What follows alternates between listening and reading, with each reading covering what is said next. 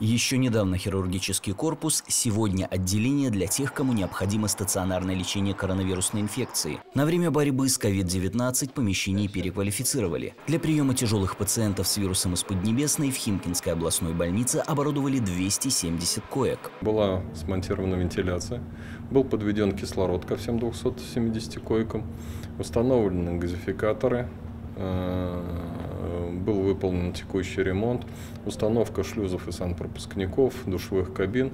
И к настоящему времени э, мы подготовились к открытию и приему больных с э, инфекцией ковида. Пациентов из хирургии перенаправили в закрепленное за больницей медицинские учреждения. Теперь их лечат в Красногорске и Долгопрудном. Тех, чье состояние позволило, выписали. За ходом работ в областной больнице лично следил глава администрации городского округа Химки Дмитрий Волошин. Бывал здесь ежедневно. Результатом, говорит, доволен. Главное, успели вовремя. Очень важно, что мы успели в те сроки, которые у нас были. Сроки были ограниченные, но тем не менее нам удалось переоборудовать сегодня э, наш хирургический корпус.